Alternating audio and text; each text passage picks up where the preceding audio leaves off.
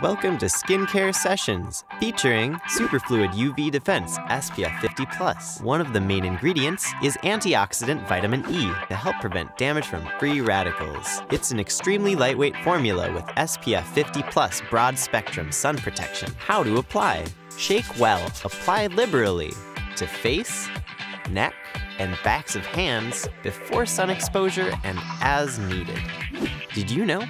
With the use of high-level SPF, you're preventing premature aging. In fact, this KCR is actually 87. Just kidding.